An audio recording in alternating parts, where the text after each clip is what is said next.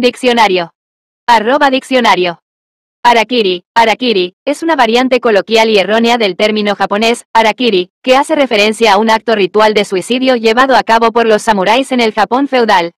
Consistía en cortarse el abdomen con una espada, generalmente como una forma de restaurar el honor perdido tras una derrota, una ofensa o una deshonra. El arakiri era considerado un acto de valentía y dignidad, ya que permitía a la persona morir de manera controlada, evitando una muerte más humillante, como la ejecución pública. En la cultura japonesa, este acto también se asociaba con un profundo sentido de lealtad y responsabilidad hacia el emperador o el señor feudal.